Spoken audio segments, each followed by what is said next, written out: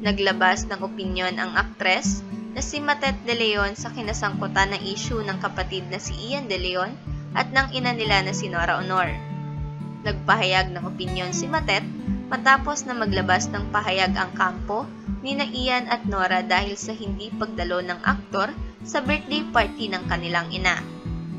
December 15 nang mag-post si Matet ng isang quote para sa mga fans ng kanilang ina. Some people are really so delusional that they think it's disrespectful when you don't just sit back and allow them continue to disrespect you. Saad sa screenshot quote na post ni Matet. Narinians. Para kaming nakatali. Nakabusal habang sinasampal-sampal. Caption naman ng aktres sa post niya.